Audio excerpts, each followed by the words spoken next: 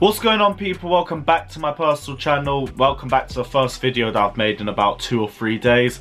Which, I, again, I want to apologise for. I said I was going to start banging out daily uploads on this video, but as usual, the international breaks come round and because of that, there's just been barely anything to talk about.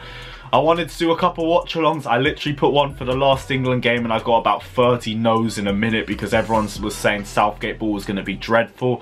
And as usual, Southgate ball hasn't failed to disappoint. I don't know what the England-Belgium game is. Right now it's playing as I record and I think it's 1-1.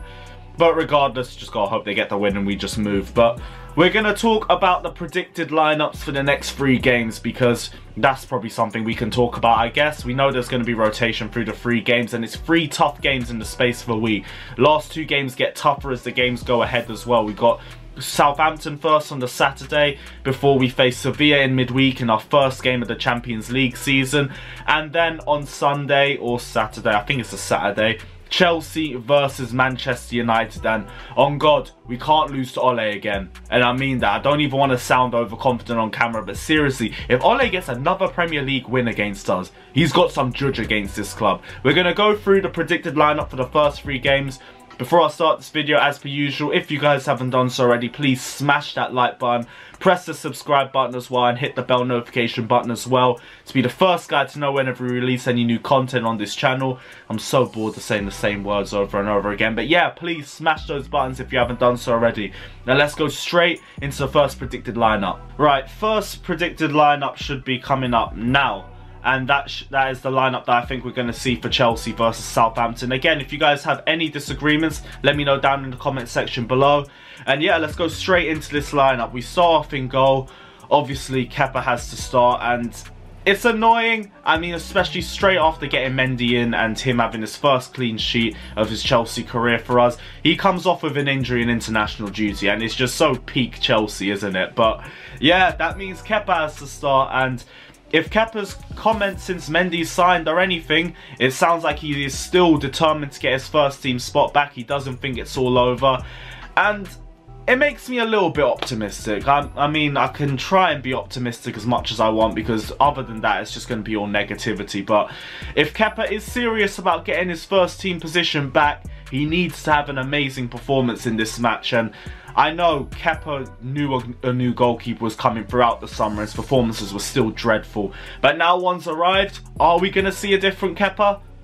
Probably not, but I mean, let's just try and be optimistic because if we're not going to be optimistic, then we just already know we're conceding a goal and the clean sheet's gone already. But who knows? It's 2020. Crazy things happen. Maybe Kepa comes back and has a clean sheet. Maybe has an amazing performance. I don't know. But I'm going to be optimistic on this one. So I think Kepa starts. At right back, we're going to go for Azpilicueta. I think his impact on the team has just got stronger and stronger as the years progressed. And I'm not saying he displaces James in terms of position throughout the season, but right now, I think especially with Thiago Silva assimilating and still trying to learn the, Eng the English language, it makes perfect sense to have him right next to Thiago Silva. And I will say I did put Kurt Zouma at right centre back for this one, but little typo, switching round. I want Thiago Silva on the right side next to him as well. Back two makes sense. Kurt Zouma and Thiago Silva, I think, are the two centre-backs that we need to persist with throughout the season. And I think even in the case of Frank Lampard, he's come under a lot of criticism for not sticking with the same defensive lineup. I think the stat was uh, in 41 games there was 22 different defensive partnerships and I think for this season one of the things Frank Lampard has to do is have a consistent defensive line so I think this is going to be the defensive lineup you see for the majority of the season if there's any changes, I think maybe Reece James overtakes Azpilicueta as the season progresses. Right now, though, I think that's the back four we're going to see. Ben Chilwell as well on the left-hand side. I've already said he's the best left back that we've had since Ashley Cole. Even though the bar is in hell, he is raising the bar already. So Ben Chilwell just has to start. In midfield, I have left Mateo Kovacic out. I've gone for the Jorginho and Kante pivot, but I think they've been the two better midfielders for us throughout the season. Yes, Mateo Kovacic is our player of the season, but his performances haven't been the same this season, and I think Right now, it doesn't really make sense to put him in. I don't think he gets in over Kante. I don't think he gets in over Jorginho as well. And I think it's going to be a similar similar sort of game to the Crystal Palace game where we're going to have the majority of possession. We're going to have the majority of the ball. So you need a player like Jorginho who's going to dictate play and continue to start attacks, continue to recycle possession, and just continue to have control of the ball because a player like Mateo Kovacic, I think, too similar to N'Golo Kante, and I don't think we need both of those. I think you need one or the other. So I'm going to go Jorginho and Kante in midfield.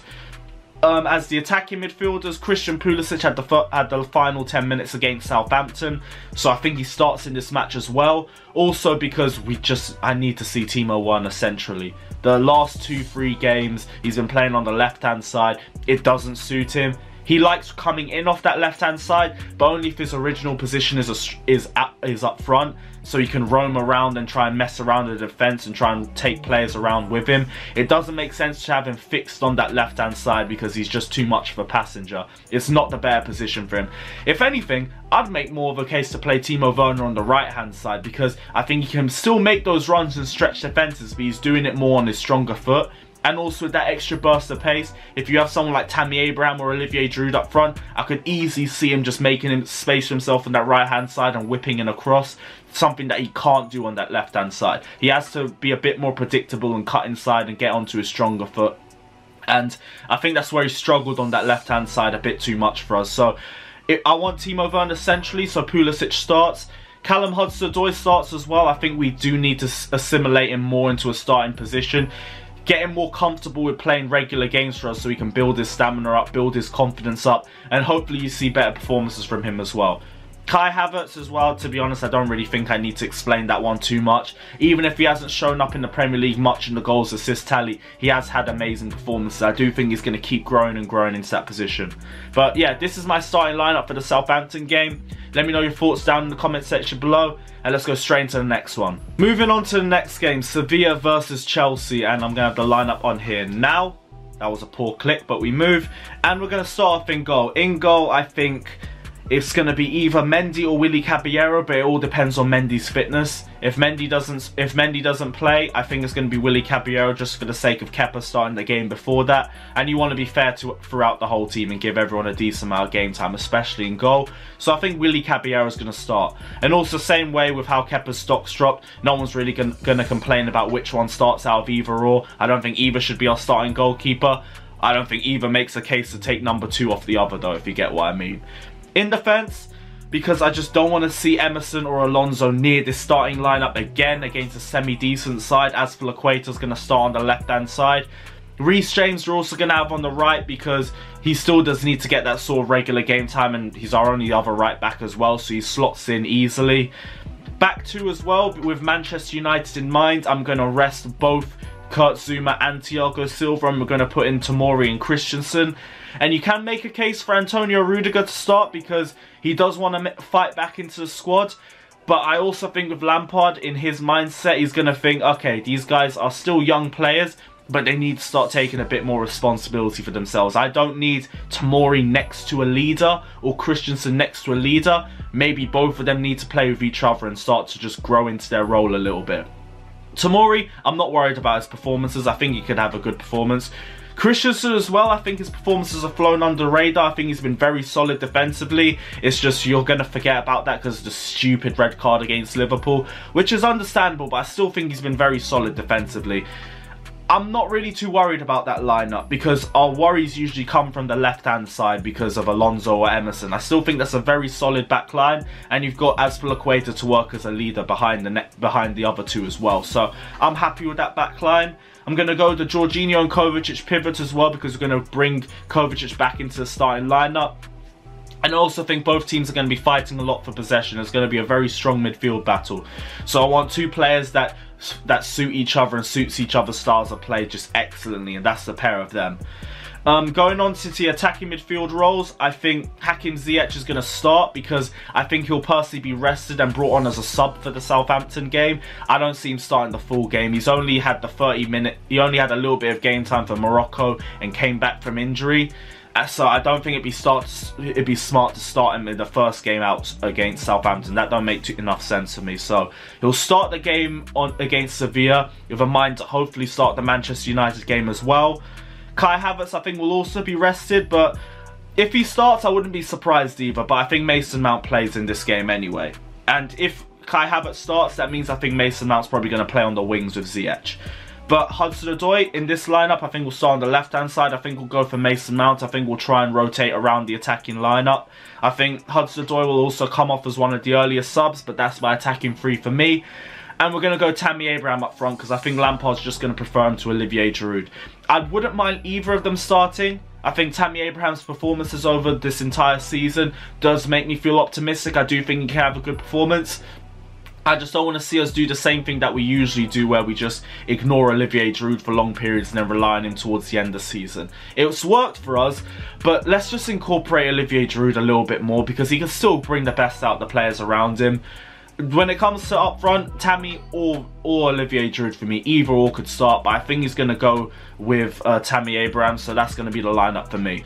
Moving on to the last lineup, Chelsea versus Manchester United. Huge game for us, sixth game of the season, and I think this is where we're really going to start to see the team gelling, and I think you're going to start to see the same sort of lineup showing in most games because all of our players will be back from injury now. Players will start to gel together a little bit more. Hopefully Timo Werner will be back in his natural position of up front again. So yeah, lineups popping up right here.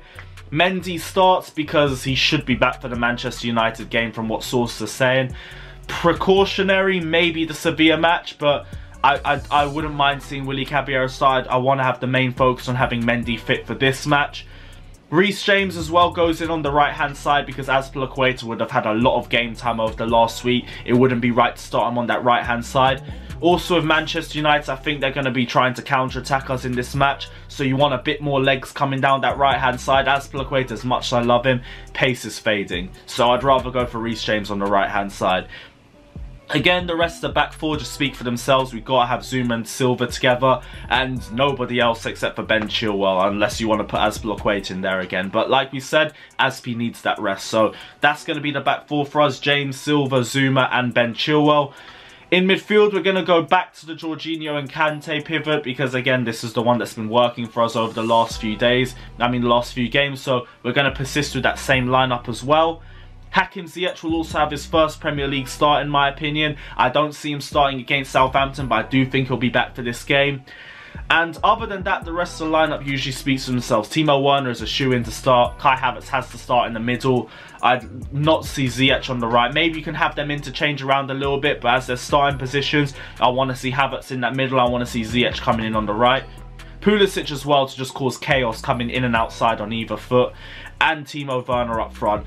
Please, guys, I'm begging you, don't lose to Ole again. Especially with the state that Manchester United are in. If Ole takes another win against us, I don't even know what I'm going to do. But guys, this is my lineup for the first, for the next three games of the season. Let me know your thoughts down in the comment section below. Do you agree or disagree with any of the decisions I've made? Don't forget to like and subscribe to Carefree Lewis G. And I'll see you guys very, very soon. Take care. Up the Chelsea.